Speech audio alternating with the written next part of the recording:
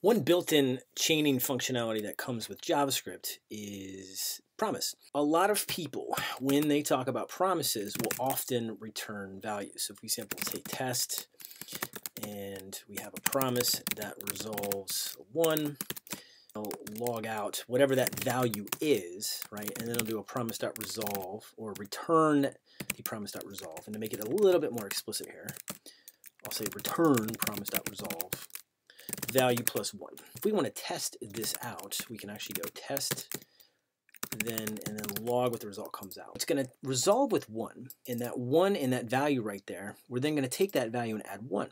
And so you can keep chaining down the lines and hide that implementation inside of a function. What that does is it allows us this test function here to return a promise. But the one thing that thens do and promises in general do is a flat map. And what that means is you can take either a promise or a value.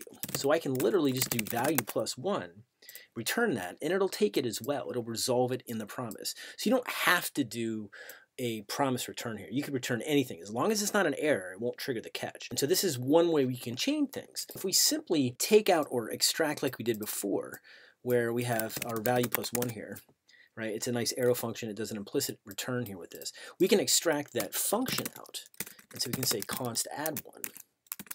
And whatever value you give it, it'll go ahead and add a one to that value. Which means that we can then take that add one function, put it inside the then, it'll automatically call it with one parameter, take the return value, and continue it down the function chain, or the promise chain in this case, and we still get two. So it's just another way to do chaining.